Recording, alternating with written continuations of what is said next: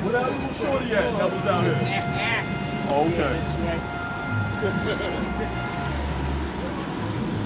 Hello, protection, protection.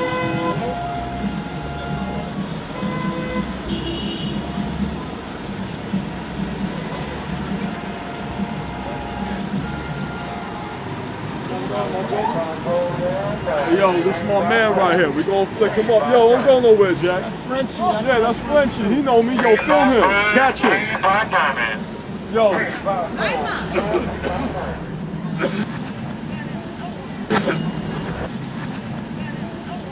You know what I mean?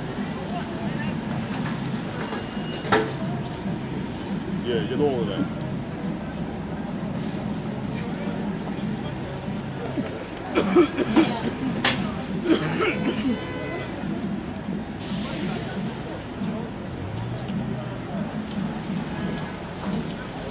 You gotta be going so when we getting ready to be going, I was trying to catch him all day, you know, that's real part-time girl.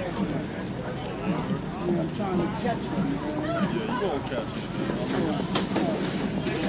Gotta get on this train, man. Grab me a beer, some chips, and a 450 Metro, man. I'm out of here, man. It's cold out here. I'm hungry too. I'm glad you came along, man. I'll be out, man. You know? I got you. I got you. Right? man. That's my friend. He's on the street. He's on- he's out. Let me tell you something. I've been documenting this this brother for like two months now. You know what I mean? I got I got ill reflections. Fuck out of here. Yeah. It's just hard out here because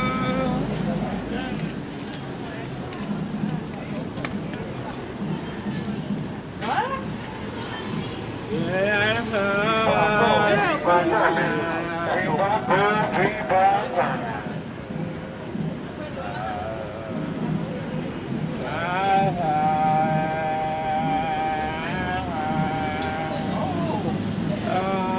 shit hanging like a slingshot.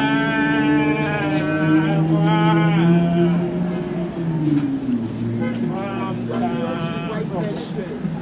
hey, yo, um, yeah, yeah, yeah, hold that, hold. Rodrigue, What's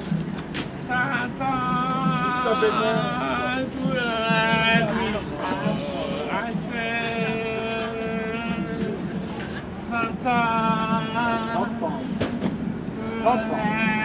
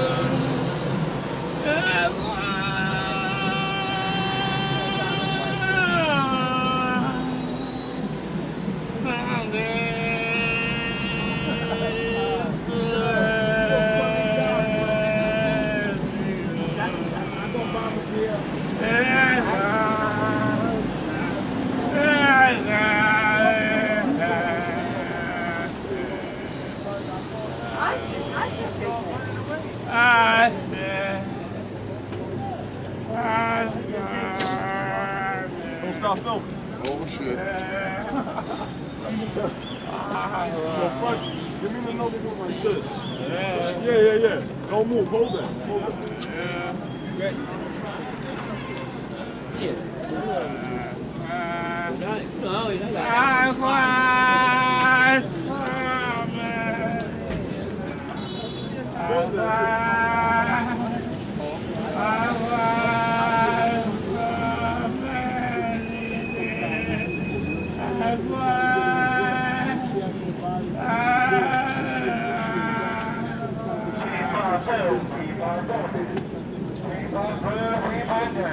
I walk into a congregation of young thugs, you know what I'm saying, and they're smoking smoking some blunts, and um, I just began talking with them. They don't know me, but it's like I got a camera, so I look suspect.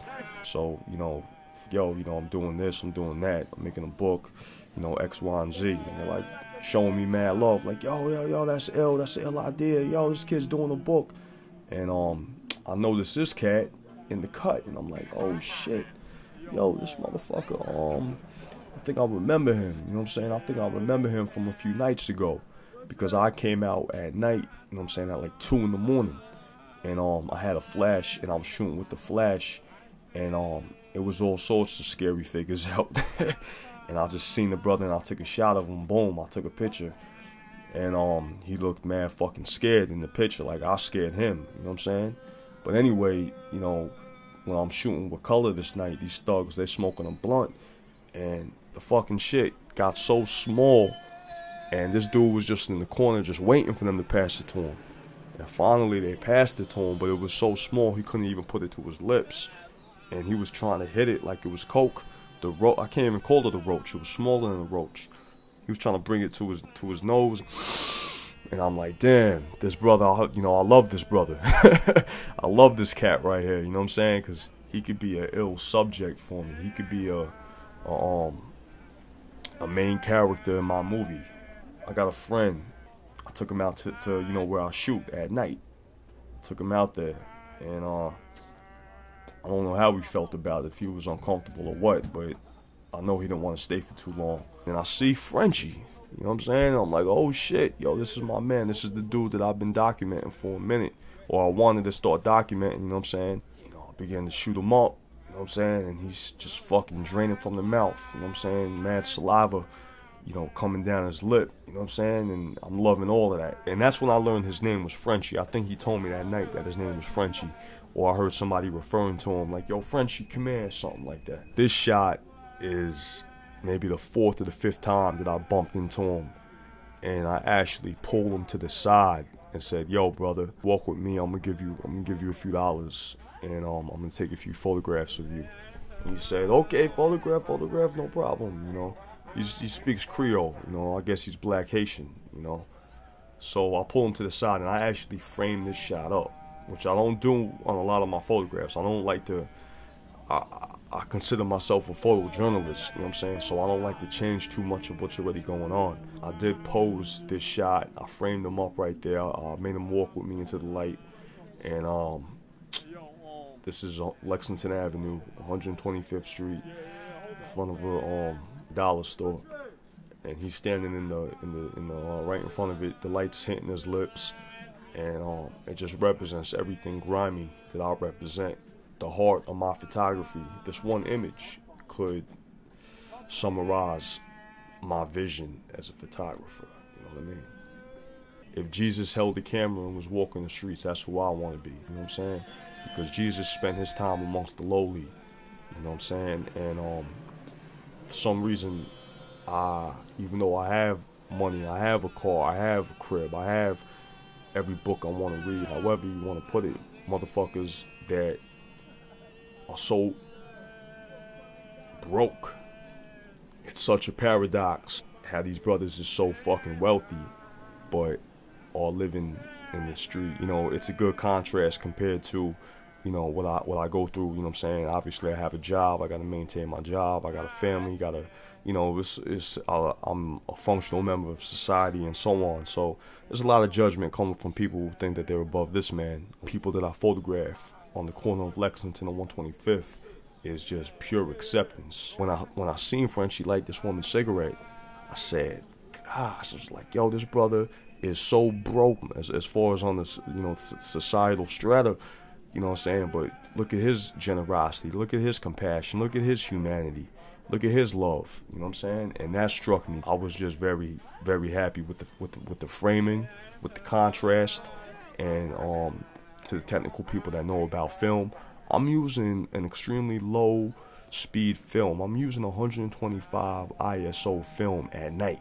The slower the film, um, the less sensitive it is, or the less light it's gonna absorb in a dark place. But I've learned that shooting at a low speed film at night produces a heavy contrast. It also makes it very difficult to shoot because your shots come out kind of blurry. But I, I do have a very fast lens, prime lens, 58 millimeter, uh, 1.2, and I got a 55 1.2 for my Nikon. So it, it, it enables me to get these these these sort of shots with the type of film that I choose to use.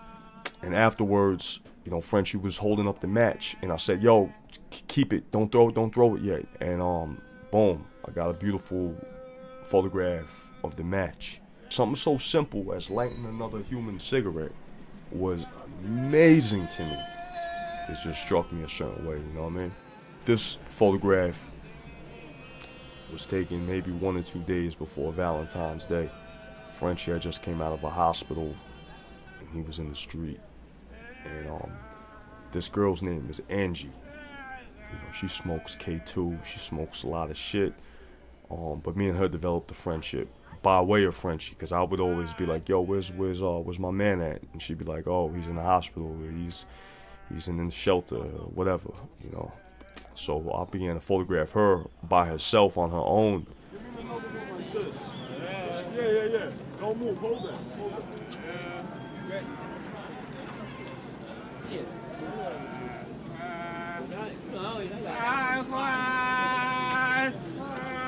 Realize that the beer Frenchie has in his hand is paid for by the dollar that I gave him for the previous shots that night.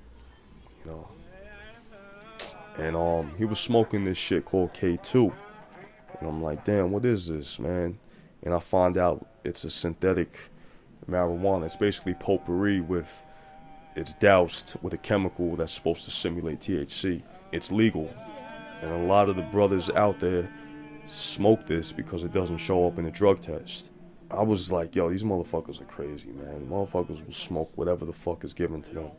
You know, and I'm smelling this shit secondhand, and I'm like, yo, that shit smells disgusting. It doesn't even smell like weed. They roll a whole thick, heavy blunt just for Frenchie, because he's kind of like a mascot in a way.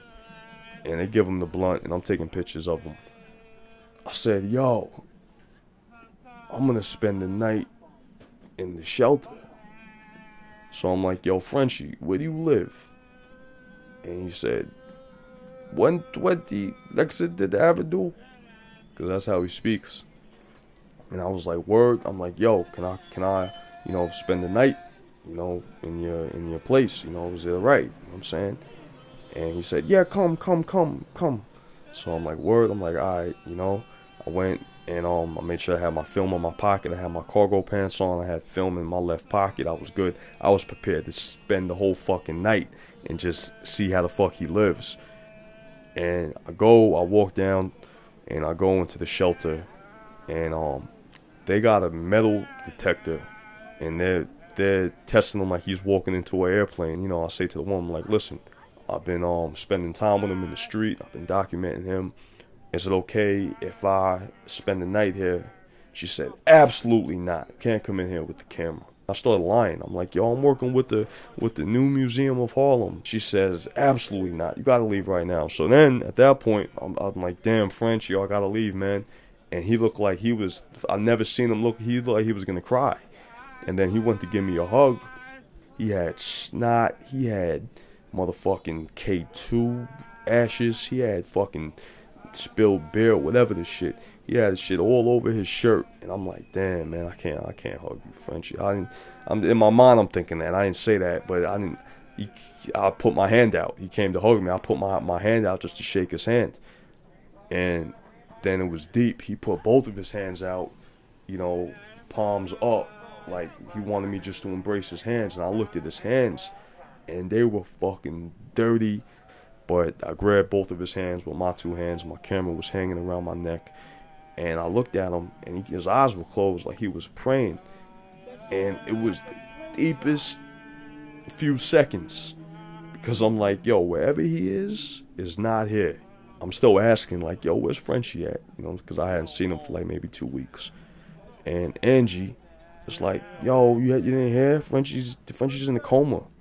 I'm like, word? Uh, and then somebody else, yo, Frenchie's dead. I'm like, word? They're like, yo, he got hit by a train. So I'm like, oh shit. You know, I wish I could have photographed that. You know. So from that point, I knew I was heading in the wrong direction. I kind of objectified him. You know what I'm saying? And I was just like, wow. But in a way, not surprised because I kind of disassociated myself from this world a long time ago. I'm not investing in anything here. Everything here, anyway, is time dependent and comes to an end regardless. I'm from eternity. You know what I mean? And I'm like, yo, Frenchie, what the fuck, man? You got hit by a train? And then another person walked up and was like, yeah, he got hit by a train. It ripped off one of his ass cheeks. And we walked inside of the store. And when we walked inside of the store, there's a young kid that works the register. And he said, Yo, Frenchie will show you where he got hit by the train if you buy him some K2. I'm like, nah, I don't want to take a picture of that. And um, Frenchie's like, K2, yes, please buy me some K2. Please buy me K2. I want to smoke some K2. So I'm like, word. I'm like, all right, Frenchie. I'm like, yo, you sell five dollars? They sold me four grams, and it came in a vial like it was piff. So I'm like, all right, yo, this is this is a lot of shit for five dollars. I can see why niggas smoke this. So not only did I buy him the K2, but I rolled it up for him. I rolled him half of the vial. You know what I'm saying? In one joint. And I'm like, yo, Frenchie, let's spark this up. I had no intentions of burning any of that shit. Frenchie is smoking his ass off. And I'm taking pictures of it. And he's puffing. He's doing some ill shit. And I'm, I'm loving it. I'm taking pictures of him. Ah, like, just fucking raising his voice. And I'm taking pictures the whole time. And there's a bus stop right there on 124th Lexington Avenue. Everybody at the bus stop is looking at me, taking pictures of him. They're looking at him carrying on, behaving real wild. And I'm just like, damn. I went inside of the store and Frenchie followed me inside of the store and I was happy. Uh, we got out the street, we got off the street, you know. But he was fucking wilding out. You know, he's laughing hysterically. He's going through every emotion. And he falls on the ground, laughing and crying at the same time. And I photographed it. I had to. And I would tell you, no matter how you feel personally, still take the picture. Go ahead, take the picture. Deal with your with with yourself later about it. And the dude that told me to buy him the K2 in the first place was not responsible. I'm responsible. But that dude is looking down on him. And I took a picture of that. And then I said to some some young cats in the street, I'm like, yo, you guys smoke this shit every day. I don't see you guys acting like this. What's up with this shit? And they were like, yo, which one did you get him? and I, uh, you know, I still had the vial in my pocket, and I pulled out the vial that was half full, and it said diesel, and they were like, "Oh, you got him the hardest shit. You got him the heaviest, the heaviest one. That's why he wilded out like that." They were like, "Yo, he loves that shit though. Yo, he was fucking crying like, yo, he he loves that shit. Don't feel bad about that." I'm still taking pictures, mind you. I'm still photographing him. He put his hand up, and that's when I stopped. Frenchie is definitely going to be a big part of my book. You know, whenever I figure out when I'm gonna put my book together and put my book out. You know what I'm saying? I seen him the other night, and the other night when I seen him, he just walked up to me and he said, "Do you want to photograph me? I need a dollar." And it was almost prostitution. That put our relationship in context. When I went to go and take the photograph,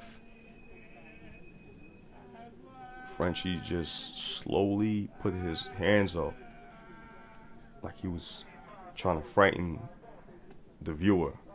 He's seen beyond my camera, he's seen beyond me as the photographer.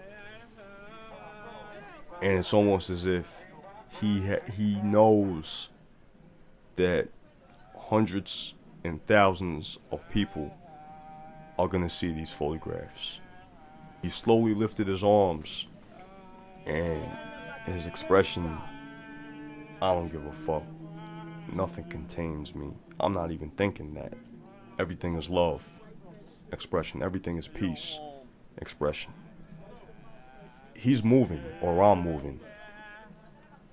But in this picture, he slowly lifted both of his hands up and just held them. He was posing, and I took the photograph of that. I wanted to say my photography isn't about being um pretty, you know what I'm saying? It is very much about beauty. It is very much about truth. It is very much about goodness. But the last thing it's about is being pretty.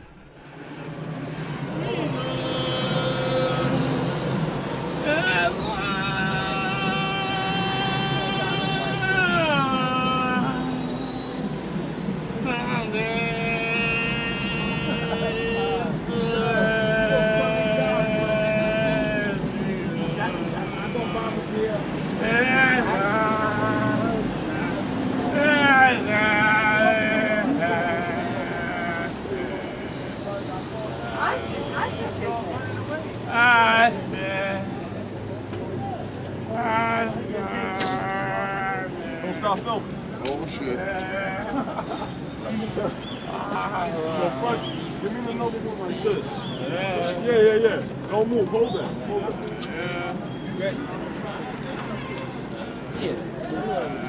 à, à, à, à, à, à,